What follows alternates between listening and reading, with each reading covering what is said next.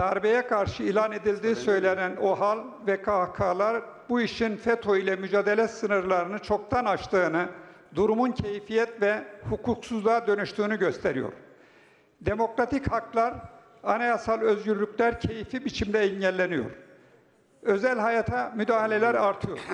Bu müdahaleler giderek kurumsal hale geliyor. Son olarak ne iş yapacağı görev kapsamı belli olmayan bekçilerin istihdamı KHK ile hayata geçirildi. Güvenlikçi politikalar hız kesmeden devam ederken tam bir kıyım yaşanmakta, geleceğimiz göz göre göre karartılmaktadır. Tüm bunlar iktidarın mahallelere, sokaklara, üniversitelere, kısacası tüm hayatımıza ayar vermesi anlamına geliyor. İktidarı tüm bu uygulamalardan vazgeçmeye ve aklı selim davranmaya